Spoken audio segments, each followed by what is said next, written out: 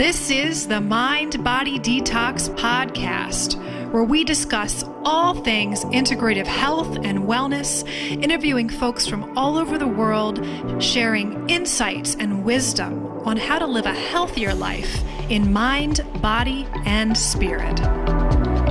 Welcome back to the Mind Body Detox Podcast. I'm your host, Integrative Intuitive Medium, Kara Lovehart, and I'm very excited to introduce you to our special guest today. This has been a topic that's been really, really heavy on my heart to really start to bring it out into the world, especially. Um, in the times of 2020, we have so much um, around our survival and just money in general. I think that when we're looking to really improve our lives, um, scarcity thinking and uh, a negative money mi- mindset can really hold us back. So I really am excited to introduce you to our special guest today. Her name is Michele Lefler, and she is my favorite Capricorn. She is super black and white and straight to the point. She's a straight shooter. She does not sugarcoat, so she's going to be very strong with her message today, which is really exciting and she was really geeking me out. We were laughing a lot and uh, really covering this topic from a serious standpoint, but also just um, just some of the ridiculous things that come up when we have a scarcity mindset. And I also want to apologize about the quality of this episode. We did run into some.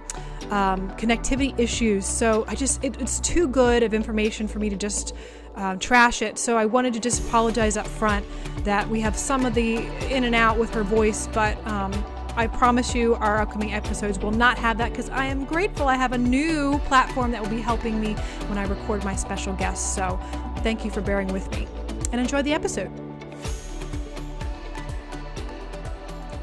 Hello, everyone. I am excited to talk about this topic today because it's been a topic that's been really not only a trigger for me, but also uh, uh, caused a lot of healing and created a lot of amazing growth in my life. And I think this is a topic that a lot of us really do not look at deeply enough and we avoid. And the topic is money, not just money mindset, but all things money. And so I am joined here with my special guest. Michele Lefler. She is a shamanic energy alchemist, owner of Living Moon Meditation. And I am excited to talk about this. We were actually meeting at a local class here in York, Pennsylvania, and we started talking about this topic about how pervasive poverty mindset, set, scarcity thinking, and all these issues around money in our local community have really held a lot of people back, created separation, created fear, jealousy, envy, all the horrible, toxic things that it causes when we relate to and approach money from an unconscious or less aware perspective. So, Miss Michele, thank you so much for joining me.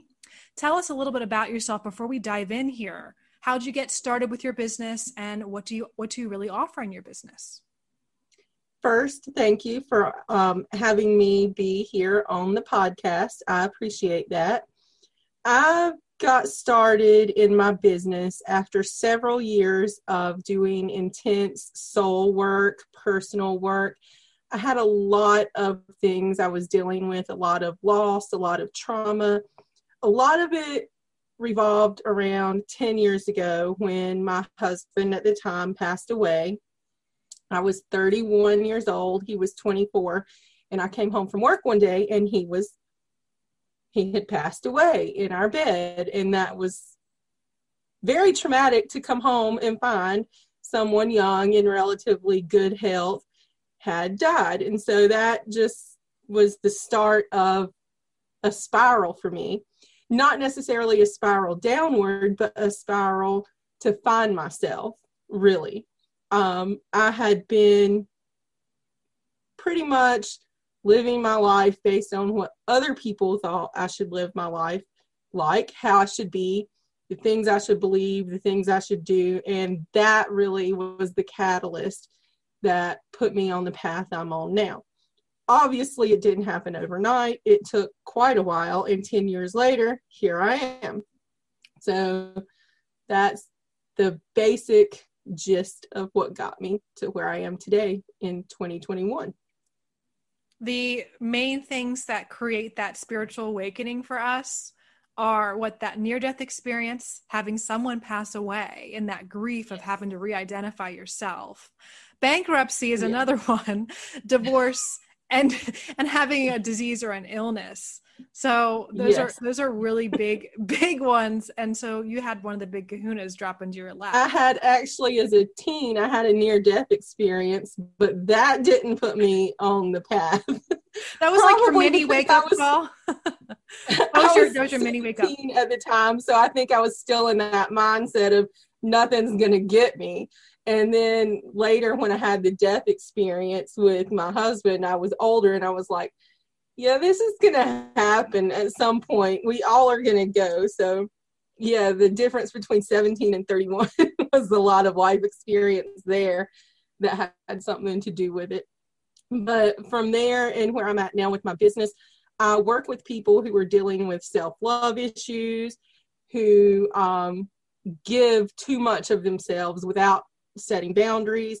They take care of everyone and don't take care of themselves, and they're on the path to burnout. They know that, but they don't know how to change it. Or people who um, are dealing with spiritual issues because they don't know how to blend their if it's a traditional religion they come out of, they don't know how to blend that with the spirituality or the woo that they believe. And so that's what I do with my own practice. And so I work with people to help them with that. And then obviously with issues surrounding death and dying, I do death doula work as well with my clients. So people who are experiencing death of a loved one or getting ready to plan for their own passing, as we all will do at some time. So it's three different branches there, all rolled into one that I tackle with my clients. And all of them relate to that transformation and that alchemy piece. So, of yes. course, the shamanic energy alchemist is like the perfect name for what you're doing. So, I Thank love you. it. I love it. So I do too, but I'm kind of biased. so Michele, I want to back up to what you were saying about the clients you work with that are though those one who are giving too much and who are in burnout. Because not just that population, but I think a large majority of that population does struggle with this topic we're going to dive into of money. And yes. so so first of all you know because those are the givers and like oh i don't need anything for what i'm you know don't you don't need to pay me. So there's so many facets of this money topic we're going to talk about. But i want to first talk about that genre of people that specifically michele you're working with because i feel like this is also a large part of our audience who is listening. The givers the nurturers the healers those out there that are i don't really need to accept money for my work so, Michele, I would love to hear your thoughts on that. First of all, you don't have to accept money for your work. That is totally 100% up to you as a practitioner or whatever. If you're comfortable not accepting money for your work and you can do it, by all means, go for it. But money is energy, it is not this evil thing.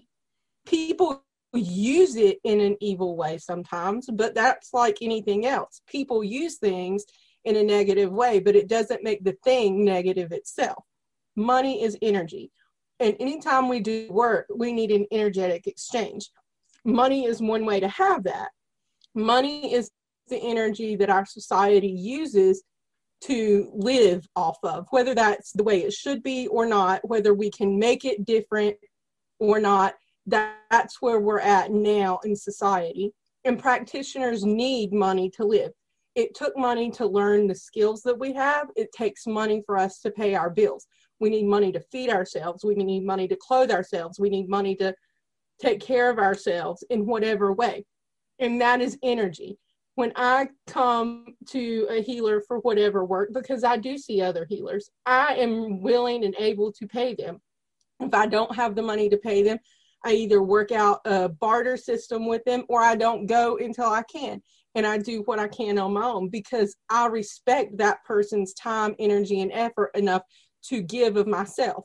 I can't expect to get something in exchange for nothing. And that's just the way it is.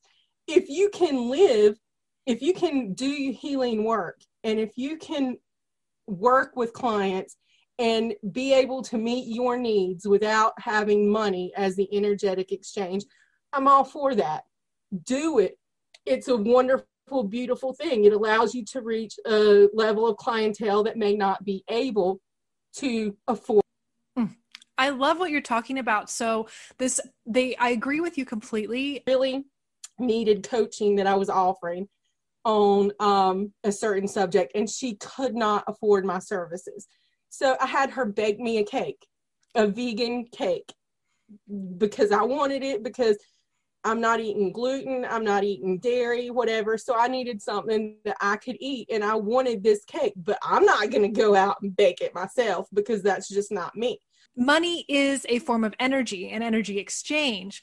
And it's interesting because we definitely put value in different types of energy. So, an energy exchange could be money we could value that. It could be a trade it could be time with other people. It could be you value more travel and more freedom in your life. So you're putting your energy whether it's money or trying to barter or whatever it is to be able to travel or maybe you have more value in staying at home being a homebody and building your physical arsenal of things. You collect things you like the creature comforts and all the the latest gadgets or things like that. So i think it's interesting this really good foundational viewpoint on money as just energy. And that energy itself whether it's money or any other form of currency this current this this flow form whether it's the form of money or whatever that looking at it from a standpoint of what do you value? So the more you value something whether it's money or not that's where the value is placed in. And i think that this topic of money in our local area um, specifically is has had a lot of we've had a lot of trauma with that.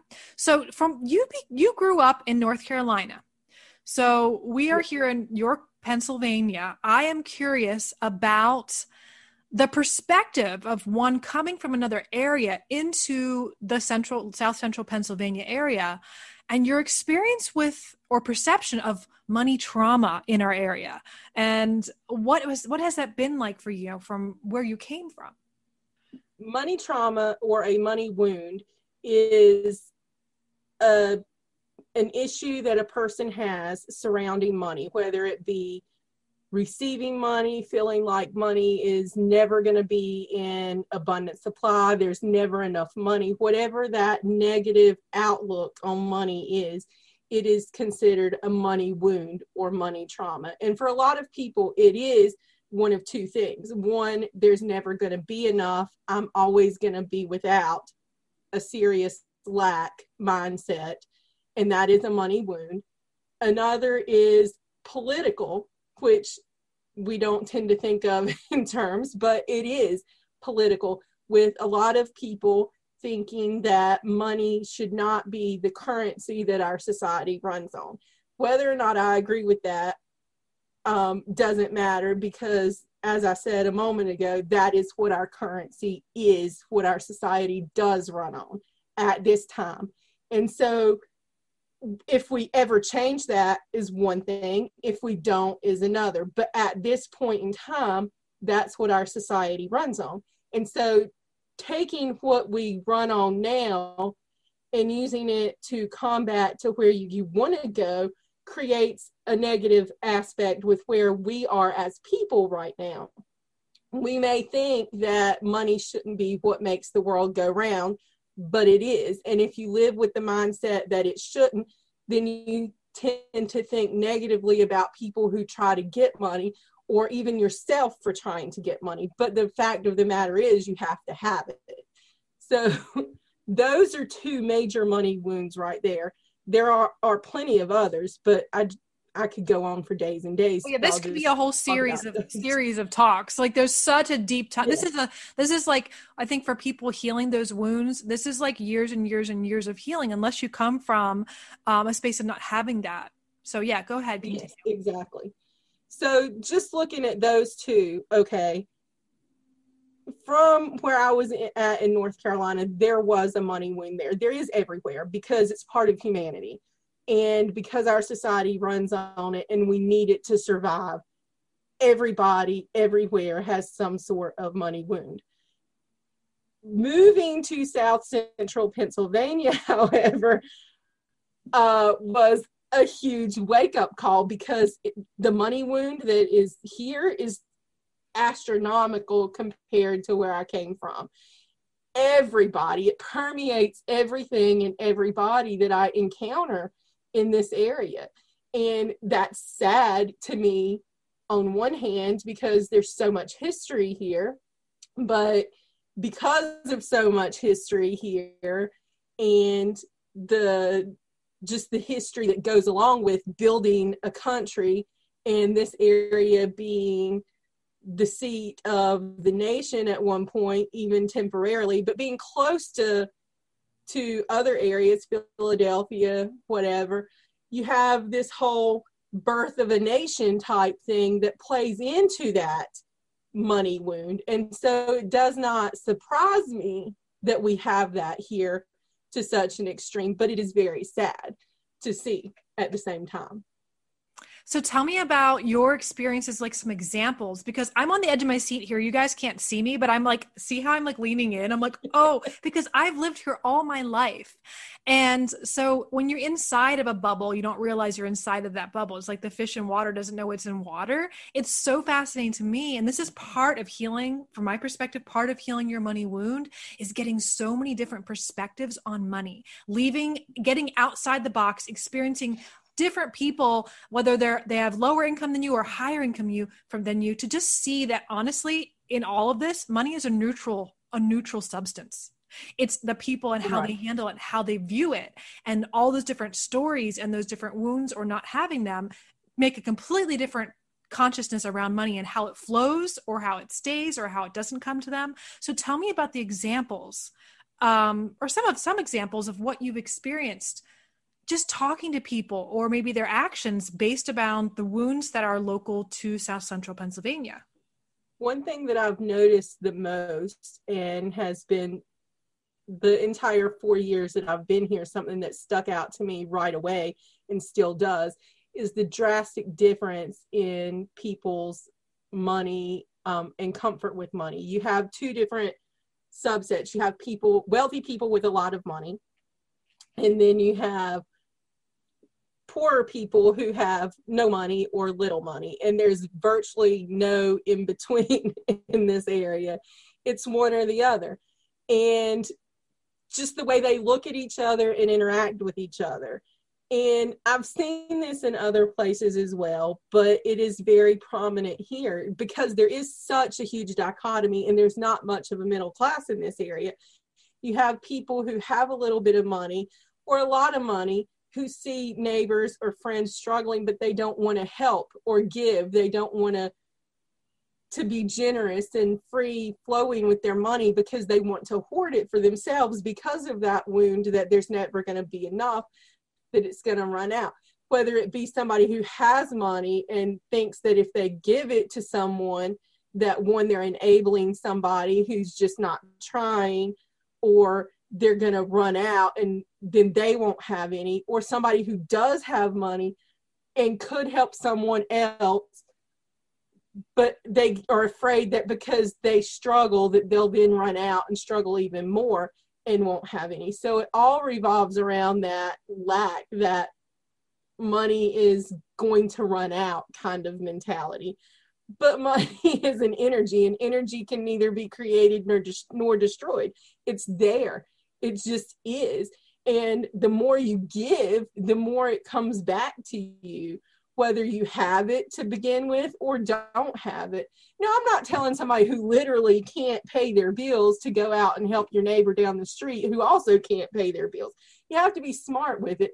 But if you have the ability to help somebody and it's not going to mean that you can't pay your heat bill or you can't put food on your table then help somebody because you're going to get it back in so many ways. Absolutely.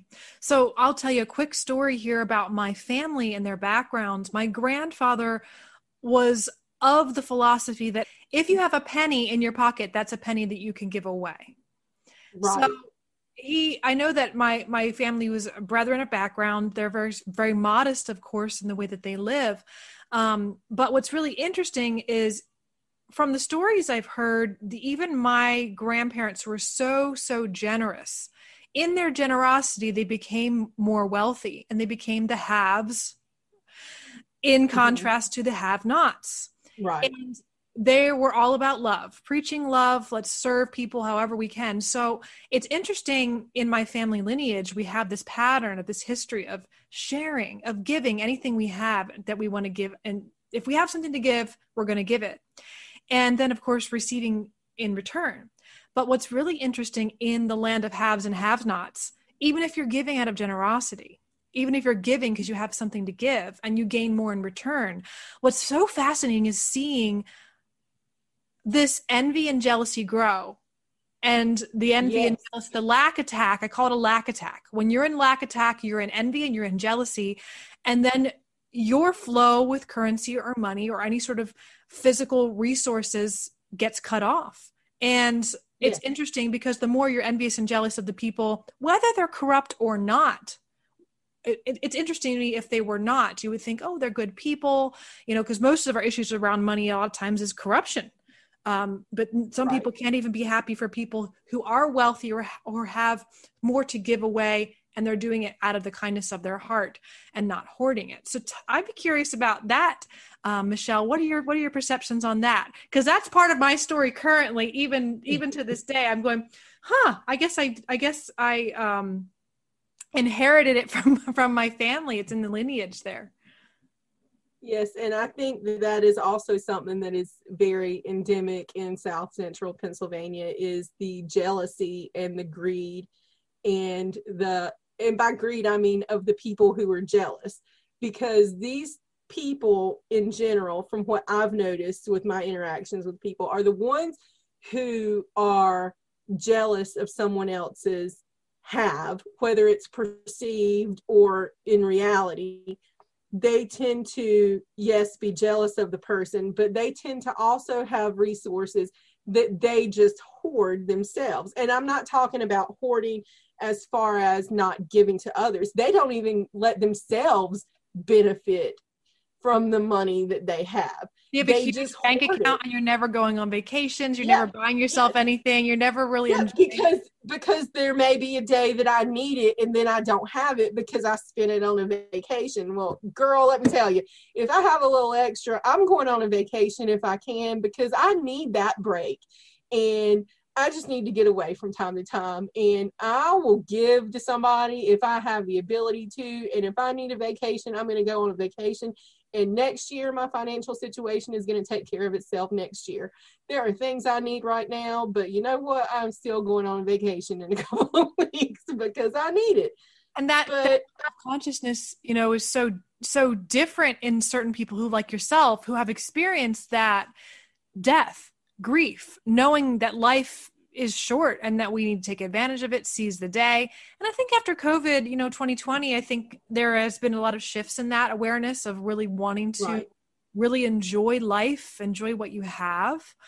Um, but I really appreciate you, you sharing all that, especially your perspective with not coming from here and moving here. But I also want to point out that this stuff we're talking about here, yes, we're we are talking about South Central Pennsylvania, but absolutely this can correlate to wherever you're listening.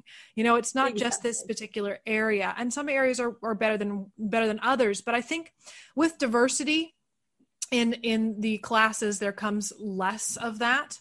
Um, but even though it, it, depends on where you're at, you could be living in a space where um, it is equally across the board different different levels of classes. But you know, really, we're looking at it from a broad spectrum. There's the middle class is disappearing, so it creates more polarization. What else is polarized in the world right now? Right, everything. So why not money and why not why not wealth?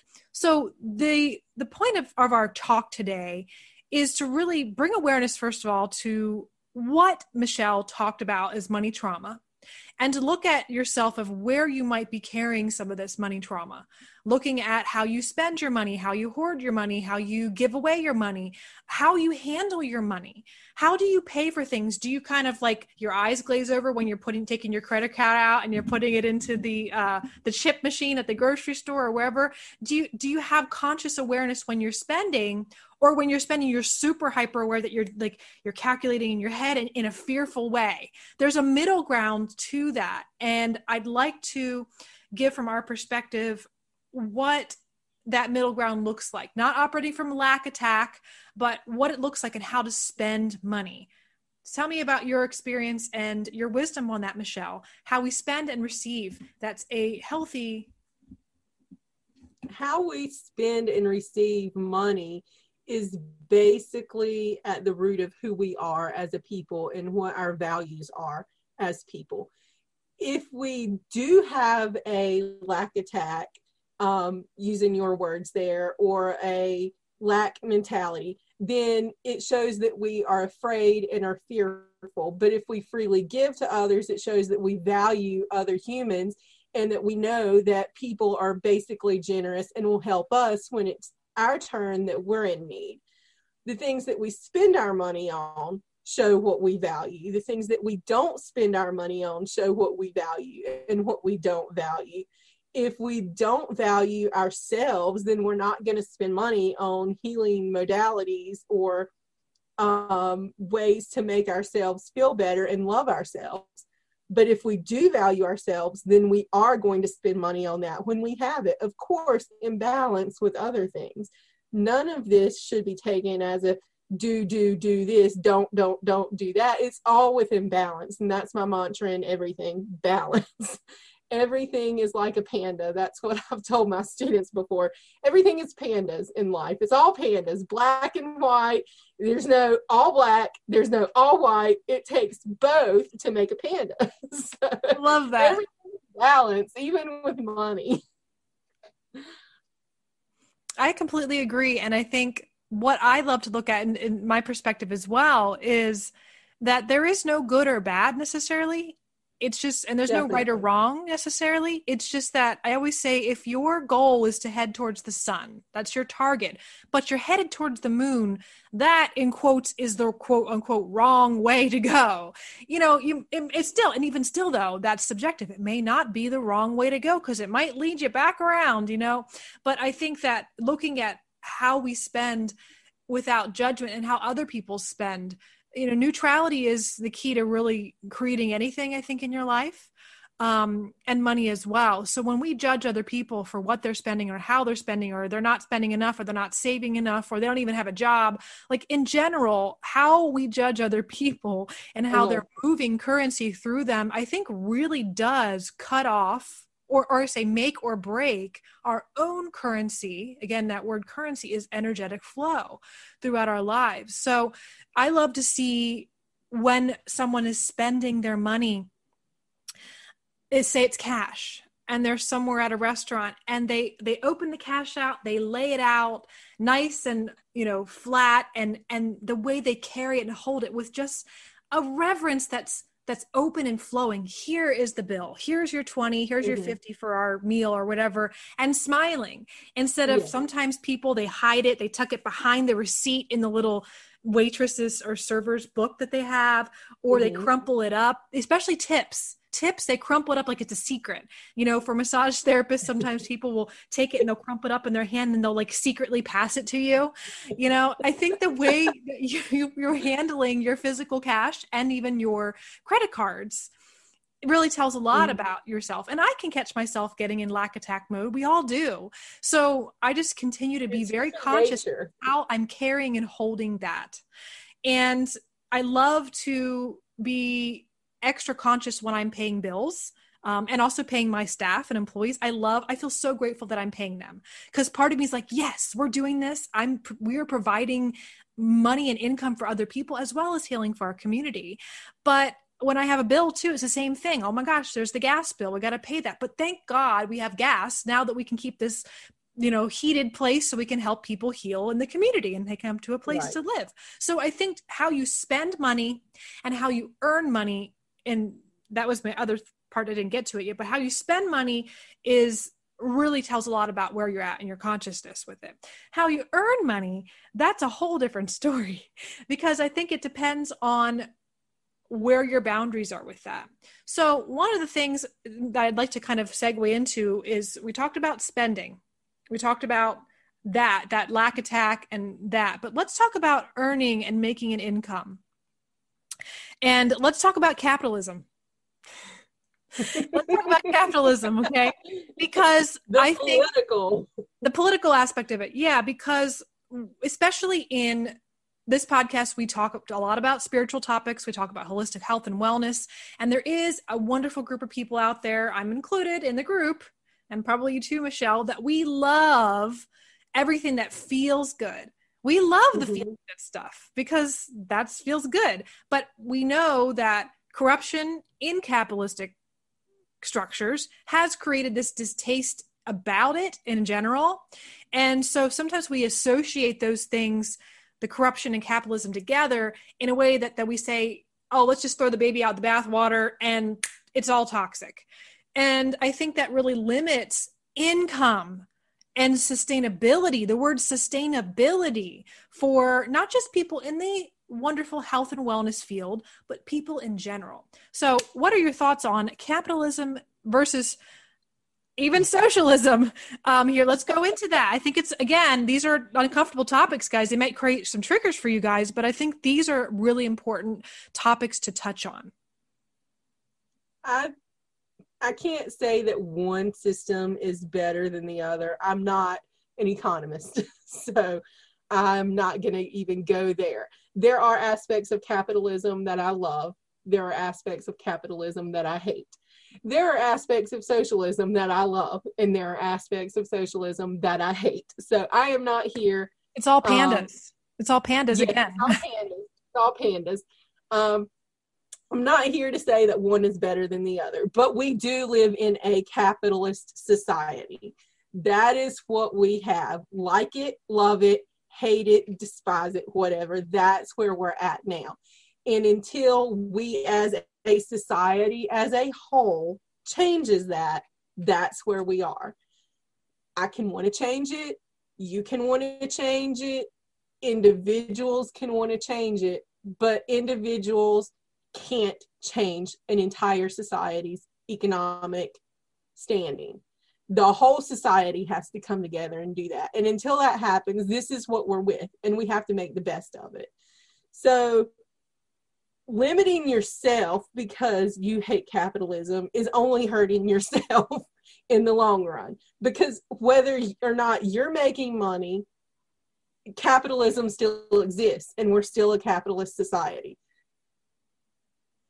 um bashing other practitioners because they charge for their services and that's something that's happened to me here in central pennsylvania um, being attacked because I charge money for services. If you don't charge money for services, good for you. Have at it.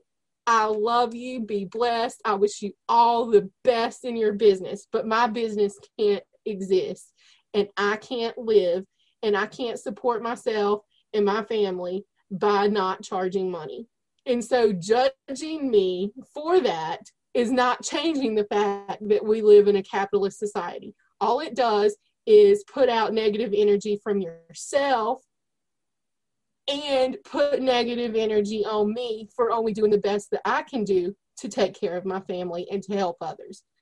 I need something in return for giving the energy that it takes to do shamanic work. It is soul sucking, energetic, depleting work and I need something in return. And what I need in return at this point in our society is money because that's what it takes to pay my bills. Point blank, end of story. That's what it takes to pay my bills. Love and light do not pay my bills. Love and light do not put food on my table. It takes oh cold, hard cash. I can't eat love and light. Just... I love you so much. I love it so much. Oh my god. so that's a really, really, really good awareness piece because I think you're right. Like everything's pandas. I love it. It is not black and white. There are some people out there that have the capacity to give their services for free because they have either a husband or someone that's taking care of them or a wife that's taking care of them because that's also happening now.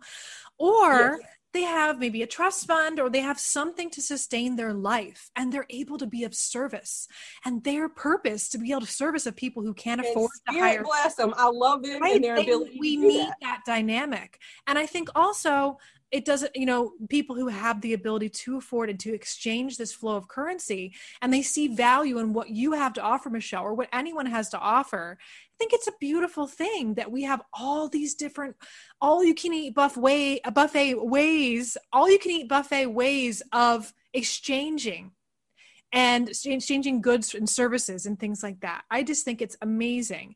And and it goes back to the, the point of we there's room here for all of us as practitioners. We can't have too many of us because if somebody can't afford my services or your services then they can go to the person who doesn't have to charge because they have another way to meet their family's financial needs. And so we can be doing the exact same service in the exact same way and reach a buttload more people than any one of us could do alone. So I think that's beautiful too. But it does, it takes people who charge money and people who don't charge money.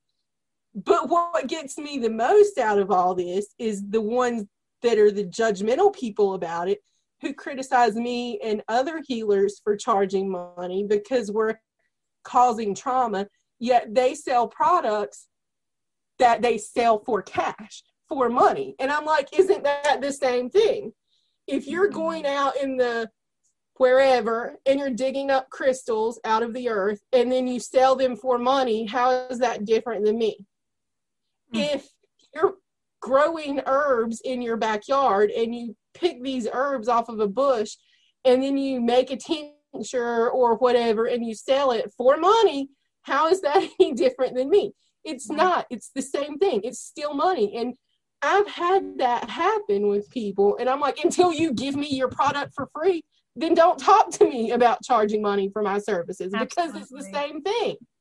Absolutely. Yeah, because there's there's that energy that goes into it. The energy's getting trans transformed into a dollar or um, now cryptocurrencies if people are taking those so there's so many different Yes. ways to do it now which is so fun and of course barter too but i completely agree with you you have this um, energy exchange. You're putting energy to making a product to growing growing the plant to cutting it up to bottling it to labeling it to marketing it to all the things you do.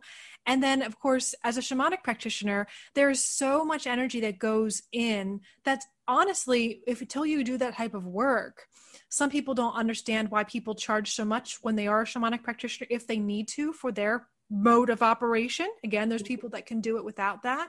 Um, it's something that is an interesting perspective because you are processing a lot of emotional and spiritual energy that unless you're an energy sensitive you may not understand.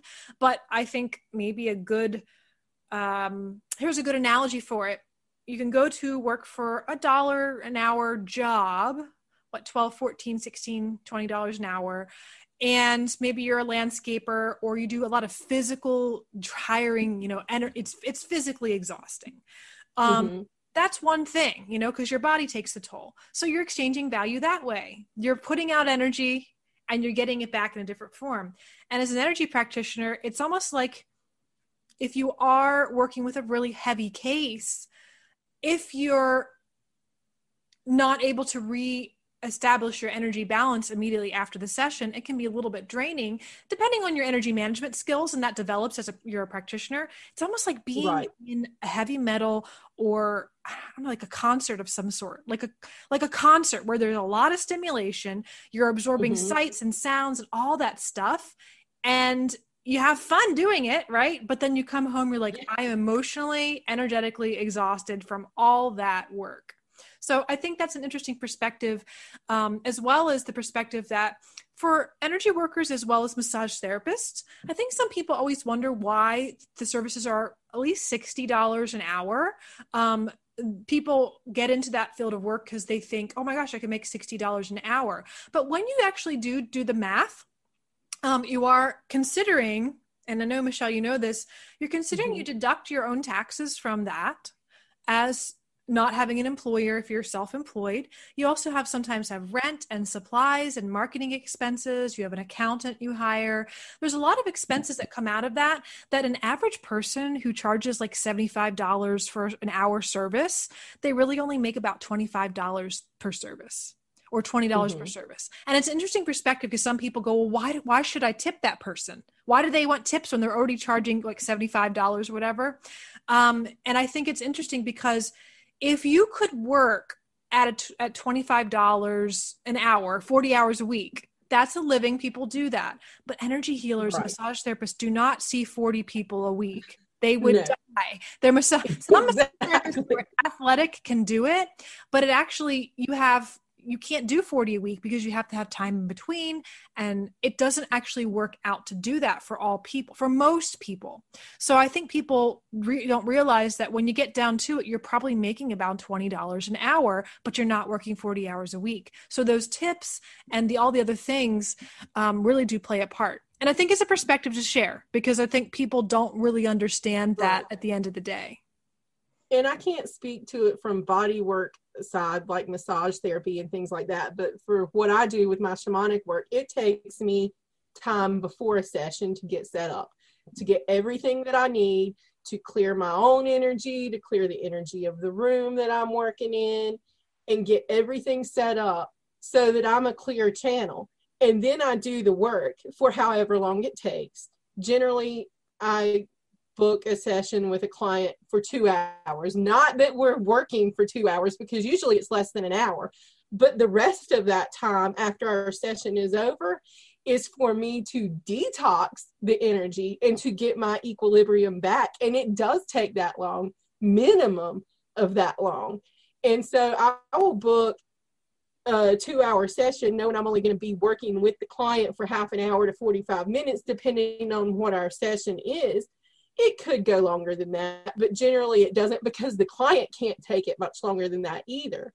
Not just me, but the client can't because they get overloaded energetically and they need to detox. So I booked this long 120 minute session knowing that it's about 45 minutes max but then I have to have that time to clear up the space energetically, physically, and myself and to get ready for the next person if I have a next person right after. So it's you may be paying for an hour service, but it takes two, three, four hours of my time. So when I book a two hour session, you're not paying for two hours. I have a flat rate. It's not, my rates are not per hour, it's per session. And usually they're packaged together in a package of X number of sessions for this amount, depending on what we determine at your intake session. So we have all this. So you're not paying like $60 an hour times two hours, $120, and I'm only giving you 30 minutes and then you feel cheated. You're paying a set rate, you get your session, but I'm taking three, four hours of my time for that session. And that's why my rates are what they are because I know what it takes for me to do it. And are there other practitioners who charge less than I do? Sure. But I can't speak to the quality that you're getting from them. Not saying that you're not, but I'm just saying I don't know what level of themselves they pour into the work, but I do know what level of myself that I pour into my work, and it's a lot. And I am holding space for my clients, and it just it doesn't turn off when our session ends to be turned back on like the flip of a switch at our next session. I'm holding space for you the whole time we're working together 24 hours a day, seven days a week. My energetic level is put into you, plugged in, and I know you're getting that from me. But it's going to cost you something because it depletes me and I have to live. So. I think it's really interesting to really look at the aspect of what you said there of just understanding all that goes into the work that you do I think it's it's beautiful because you don't really understand that until you've gone through training or you actually are a holistic practitioner of some sort who does some sort of energy medicine therapy service. Um, so I think it's really good perspective for people who are in the audience that maybe just get services. They're not a practitioner of any sort. Um, but also, I think it's interesting with this concept of the free market it's there is a lot of freedom and a lot of choices and opportunity for people who can afford a specific type of service. It's almost like all you can eat buffet again of like, well, you could go to someone on the street. Their quality may be just as good, but it may be a lot less. And I think that's one thing that we think, well, if it's only $30 and not 75, it maybe it's not as good. That's actually not the case, folks. I met a, um, a therapist that's a massage therapist. She's been doing it for about 20 years. She's amazing. Her and her husband are amazing. They're still charging $65 an hour, even though going rate, I think, is around 75 um, for the local area. And that's just what they charge. And it's not anything wrong. It's not good. It's not bad but it's something that that's just how they're placing value on themselves. Now, how, again, this goes back to this perception of value. Like I perceive her worth and how good she is at what she does, especially trying a lot of different massage therapists out. I'm like, wow, I would pay $120 an hour to see her because she's that good. So, but she doesn't see herself. I told her, hey, you really, you know, and that's and that, okay. And that's one of two things. And what made me say this is you said that's how she sees herself. It's either yeah. A, she has the ability to charge way less. Yes. And so she wants to pass that on to people who can't afford higher price services. Exactly. God love her. God bless yep. her. Hope she does well. Or it's a money wound and she doesn't value herself and her service at yeah. a high enough price. I'm that, not saying that's the case. I can't because I don't know anything about her, but it's right. one of those two.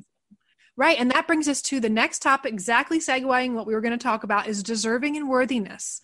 But first, just kind of to, to cycle back through that free market this ability to have there's no one dictating for whatever service you do you cannot charge more than you know within a five dollar amount of each other you have to charge the same amount because in other places that's how it is that's how things are set mm-hmm. up in the monetary system so it's really nice that we have a lot more freedom with your particular budget and your particular needs, you can find just a quality practitioner or a service or a plumber or whatever it is you need mm-hmm. at a rate that will work for you. And with facebook marketplace now look at that. There's so many opportunities to find you know as a single mom like that was one of the things for me before you know i had enough to be like oh i can go buy this if i want to. It was like oh wait i need this oh wait there it is on facebook marketplace like only 10 yeah. bucks versus it's $60 retail. So it's i feel like we My have husband is addicted to facebook marketplace. He's on there all the time. Right but i think that's part of also that money mindset of moving from poverty consciousness or scarcity mindset into abundance is like seeing the abundance of opportunities for resources to come into your lap. That it doesn't always happen with money. It can happen with barter. It can happen with it being a gift but there's so many different ways for resources to come to you. And i think deserving and worthiness are really foundational for any of them whether it's money or not. And before we segue into the deserving and worthiness, I will say just one example, a pretty big example. For when we started Firefly Hollow and we bought the property, there were potholes in the road the size of the Grand Canyon. And it would be very dangerous to have people walking maybe at night back to their cars in the parking lot after a massage and being relaxed and falling into the holes and hurting themselves. So it oh, was goodness. a big deal. And I thought, how are we going to pay for a new road to pave a new road so of course the scarcity mindset the lack attack goes oh my god that's like $30000 or more to pave a road i mean just paving a parking lot like your your driveway is like 10 mm-hmm. grand so we're like a whole parking lot and this whole road how are we going to do it so i don't know if you had moved here yet michele but we put it out there. I was like, look, this has just got to happen. If we're going to help people, if we're meant to help people, the resources will come along. We'll continue to save for it, but we'll find some way to make it happen. About a week later, we got a knock at the door from the Columbia Gas Company. Hey, we have to like dig up your road and put in new gas lines for you and the whole park around here and we need you to sign this paperwork so that we can do that. But once we dig up the road and put in these new pipelines for your gas, we're going to repave it. So don't worry. That's beautiful. That was before my time, but that is beautiful. yeah, it was back in like 2013 or 2014 that happened. Yes, So, 2017 when I moved here, so that was before my time. But that is beautiful. Yeah. It just goes to show that the energy can flow from anywhere. Because who would have thought the gas company is going to pay to pave this road? Well, there you go. They do. I mean, that goes into the topic of the law of attraction and all that stuff. Like, that's a big thing. I'm very, very, very skilled at that. I say I'm very skilled at that law of attraction, and I think it's something that can be learned. But again, that's also relating to the the deserving and worthiness. Because if I didn't feel that I, you know, we deserve to have this, not in an entitled way, but we deserve to have this because we're going to help people, and we are worthy of helping people. We are worthy of these resources coming. So I'd like you to touch briefly on that uh, deserving and worthiness, and how that really can help or hinder our money consciousness self love is the key there. If you don't love yourself, then you're not going to think that you're worthy of receiving and having your basic needs met. And if you do love yourself, then you inherently see the value and the worth in your being and in your ability to make your ends meet every month and have some left over. And that's that's basically what it's about is self-love. But it does. It's an energetic thing there in that. And it, it works that way because people who struggle with self-love often don't attract abundance to themselves because of that energy. You're vibrating at one energy level and the energy of money is going to be attracted to itself and scarcity is going to be attracted to itself. So abundance has a high vibrational energy as does self-love self hate or lack of self love is a low vibrational energy, as is poverty and lack.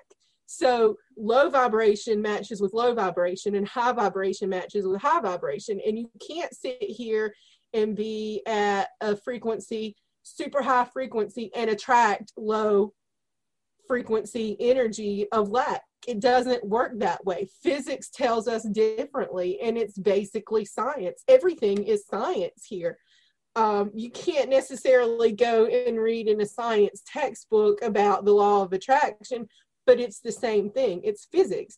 And you can't be vibrating at an energetic level of lack and attract abundance because the high vibration of abundance is not going to be attracted to the low vibration of lack. It doesn't work that way. So it's all physics, it's all energy, and it's all self love or lack of self love. So, love or fear is always the foundation for everything. And what Michele said, that worthiness is really the more, you know, in every choice, are you loving yourself? And the more you can do that, the more you gain that self love, that self esteem, that worthiness, that deserving. And if you don't believe in the law of attraction, just look around because it maybe it's something that people are skeptical about but at the same time you if you look enough if you watch people enough and watch your own self you'll find there are people that no matter what happens they just bounce back. They lose something oh my god they got a windfall again. How come they're so lucky? We just we we we really write it off as some sort of um supernatural or not supernatural like um they're just lucky or we write it off as that. And there is something about those people's personalities tend to be more optimistic, tend to be more positive, they tend to be in more higher vibration, like Michele said. So I think that those are really big places to start. Looking at how you're spending your money. Are you letting that cash fly free, open? It's it's out there waving at everybody and saying, "Yes, I give you money, my waitress or server or cashier." And how are you receiving money? So this this podcast has so many different layers. We have so many more topics that we could go into. We really did have a whole bunch like a much more longer bullet points to kind of touch on, but we'll have to touch back on that. But I want to just move forward with the final questions of the show. And these are my rapid fire questions, Michele, that I ask all of my guests. Um, so we're going to start with them and give me your quick answers. All right. what are you completely obsessed with right now in the world of wellness? Money is yes. what I'm obsessed with right now. yes. Money, because it takes money to make the world go round. And I know there are a lot of people that are going to listen to this and cringe at the fact that I just said that, but hopefully that number is a little less now that we talked about this. But that is what I'm on fire for right now and about right now is money and practitioners and healers having the money that they need and that they're worth if you have all the resources that you need and all the healers and helpers out there that are heart centered that want to give can you imagine the world the way the world would be? So if all of us can get rid of those money wounds and really allow ourselves to have the money and the resources that we yes. need what would the world be like? So i think it is exactly. valid to really um, what michele's talked about get passionate about it too because i completely agree michele. I think i completely agree. It's something that's not really touched on in the world of wellness and i think it's up and coming. I really do. I think it's up and coming um, my astrology senses and my psychic senses says yes it is. It here it is. It'll be the thing that you know five years from now like everywhere you know what was it? Like reiki was the thing and like it's gonna be a thing. Like it's gonna be a thing. It's gonna be money. And we're gonna look back and be like were we really all dealing with a huge money wound? Wow glad we're past that.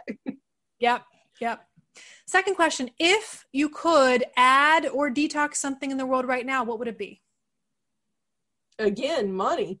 And the, the way we look at it, the, that's what needs to be detoxed is the way we look at money. And yeah, I'm just going to stop there. No, I completely, completely, completely, completely, completely, completely, completely agree. And I, I, honestly, working with practitioners for the last 10 years, helping holistic practitioners be successful in their business, helping practitioners fill their books, the biggest block is worthiness, deserving, and money. Specifically, money. We'd have people that get, even they'd get really successful and they'd be scared of the success and sabotage. So I mm-hmm. completely, mm-hmm. completely agree, especially in the world of wellness. Again, what we could we do if we had everything uh, resourced and fully supported for us what would happen? I can't yeah. wait to see that. Well michele has some tools and resources for us. So i'm going to share just a couple resources for people to go to and i want you to end our show today with the amazing resource you have. Because again there are many all you can eat buffet is it's it's pandas like michele said it's not black and white. There's not one option. There's so many options and it's about what resonates with you. So one of the people i really highly recommend to get into if you're really looking to connect with your wealth consciousness and really change um, your awareness of that is carolyn elliott.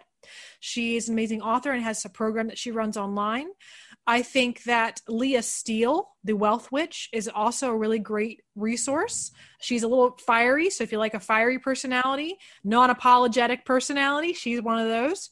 Think and Grow Rich by Napoleon Hill is a staple read if you have not read that book. I think it's a very, very good book. Um, it's about the law of attraction, but also relates mostly around money to start. And then I think just in general, understanding the nuts and bolts and the black and white physicality of how money works as well, how stocks work and how things just how things work because we can understand the conceptualized things but when you want to understand how to work the system um, Tony Robbins' book, Money Master the Game, is another really good resource to check out. And again, there's so many other resources I would look up. Just Google wealth consciousness, money mindset. There's so many people out there, but those are the ones I usually recommend people to start with. And Michele's got an amazing offering coming up. So tell us more about your resources that you have to offer. I want to second Carolyn Elliott because she is phenomenal. So check her out. She has um, her website, carolyngraceelliott.com. That's C A R O L Y N G R A C E E L L I O T T.com. That's a plug for somebody that I admire, not myself. Um, I also suggest that you do some Google research for money wound and the mother wound and see what comes up because that's often tied in with our um, early life and our childhood traumas that go with that often have a lot to do with our money trauma and money wound. And I have a program coming up in early October it is called Flow, a Yoga Nidra journey to heal the money wound. And it's going to be a multi week, multi length um, Yoga Nidra recording each week for the length of the program, helping to detox the money wound and provide the medicine needed to heal that wound so that we can attract abundance and flow with the energy of money. So check that out coming up in early October. You can find information on my website, livingmoonmeditation.com. I will put all of that information in the show notes for direct links and all of that. And again, October 2021, because if you're listening to this in the future, but that may be a evergreen um, offering that it may be available. Be evergreen. yeah, yeah, wonderful, wonderful. Well, is there anything else you want to share today, Michele, before we skedaddle? Just love is um, is what I want to say. Just open up to love, flow with it give it, receive it, heal your own self, love yourself, and open up to the flow of money because we need it. Thank you. Thank you. Thank you so much, Michele, for joining us. I hope Thank you guys you. are in the flow. Check out Michele Lefler's program, Living Moon Meditation, Flow, a Yoga Nidra Journey to Mastering Money, correct? Was it the right title? To heal the money wound. Heal the money wound. I'm sorry. Yes, we'll have that. That's okay. But you guys definitely uh, check that out, and we wish you well until we see you next time. Thank you, everyone. Bye. Thank you for listening to the Mind Body Detox podcast. We wish you wellness and health in your mind, body, and spirit. And be well until next time, my friends.